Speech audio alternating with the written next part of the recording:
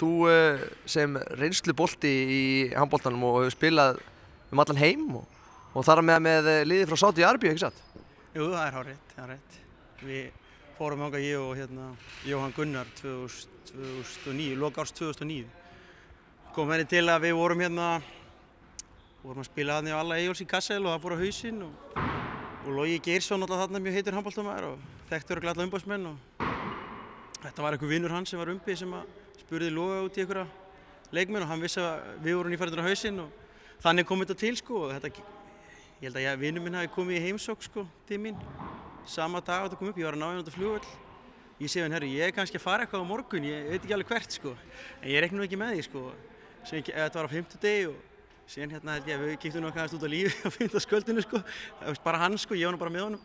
Síðan voru okkur heim klukkan 6 um morgunin og ég hafði ekki tekið síma með mér, þetta var batíslös síðan er ég bara með SMS frá Jóa, herru, við erum að fara. Og þá ringi ég Gauja Drengs og hann kemur og sækja mig og, og ég segi félagin minn, herru, þú voru að koma með. Og þá kemur annar félagi hans sem býr í Þísklandi líka, Einar Holmgjesson, kom að náði hann sko.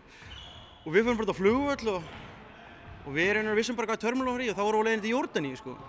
Og liðið var sérst frá Sáti Arabíu. Og síðan bara var maður komið þangað eftir einhverja hvað er raunir, hvað 14-15 klukkutími eftir maður vissi maður væri sérst að fara sko Þetta lið, eh, Sáti Arbið er náttúrulega að fara að spila á HM í Katar eh, og eh, kannski ekki þetta að segja að þeir munu ganga vel, ég, kannski ekki þetta að segja það, en eh, hvernig, eh, hvernig var þetta lið? Var eitthvað, var eitthvað varðið í, í leikmennin sem voru hann fyrir? Herðu, þeir voru bara með hörku lið sko, spiluðu framleikindi vörn og miklu íðröndumenn og, og hérna, já þeir voru mjög góður sko, þeir voru kannski, þeim vantaði miðjumann og örfenda skýtu, hotnamenni, línumenni og einn skýttan þarna, hann var eitthvað legend þarna í miðausturlutunum. Síðan í þessu móti, Tite Galandadze var að spila þar, uh, Hussein Saki, Sjó Labadí og, og það voru fleiri sko, svona einhvern upp sko. Og Daniel Berg. Jú, og Daniel Berg og Jóhann Gunnar. Hvernig gekk í þessu móti? Herru, við unnum riðilinn okkar og hérna, síðan hérna, var hann á þannig við vorum í einhverju milliriðli eitthvað unnum einhvern leik og unnu liðið held ég sem vann mótið sko. Síðan áttum við að spila mot einhverju lið og þeir þurfti að vinna okkur með fjórum eða fimm eða eitthvað henni og lið sem, að, sko, sem við höfum búin að vinna hafði sko rúlað yfir á og ég man eftir að byrjun leiksins sá bara allt í hennum bara fáið okkur tvæ mínútur og tvæ mínútur og það fyrir gott varnalið sko. og síðan bara víti, víti og síðan vorum við í hraðblöfi og den lína og ég bara, hvað er í gangi þetta? Síðan eh, kallar Jóa eitthvað á mig og segir við mig sko, hann Jóa fór að liða á putanum bara eitthvað, Danni, það er búið að múta dómurum ég bara, nei, þú skjáft það er þetta hann bara, jú, þeir eru búin að segja mér, það er búið að múta dómurum ég held að við fengið 17 víti á okkur, 15 brottísin þetta var bara eitthvað mesta bíó sem ég hef upplifað sko. síðan endaði með því að vera að henda draslinn á völlin og þetta stoppa leikin og allt sko.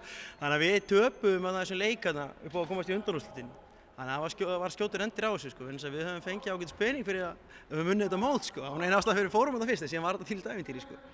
Þannig að má segja kannski að þitt lið á HM fyrir Íslands sé Sáti Arbið? Já, klárlega, Sátan, ég og Jói við hittumst reglulega og rifjum upp minningarnar um Sátana sko. Þetta voru alveg indislega ykkur sko. Og þá spá þínu, hvar endar Sáti Arbið á HM? Ég hef ekki að segja að það er spil eitthvað þar hana, er ekki svona eitthvað 13, 14, 27 eða hvað er, hvað er áttu mörg liðan, 14, 16, 24, þeir verða eitthvað þar. Ég vona bara að vera sem ofalegast. En Heru, við þurfum ekki að spila nema einn góðan leik til þess að komast í áttalúslit. Ef við vinnum leikina sem við eigum að vinna í reilunum og töfum hinnu, sem hitt og eitt toppleik í, í, í sextalagúslinum, þá erum við konið í áttalúslit. Þetta er spes mót, þannig að ég, ég, ég ætla að spáða mig í áttalúslit. Þeir eru ekki betur en það í dag. Sko. Heimsmeistarar? Heimsmeistarar. Frakar. Klárlega, vonaða líka. Takk fyrir Daniel.